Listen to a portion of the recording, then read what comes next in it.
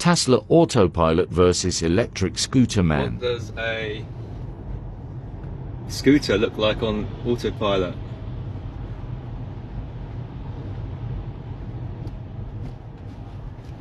Looks like a man walking in the middle of the road.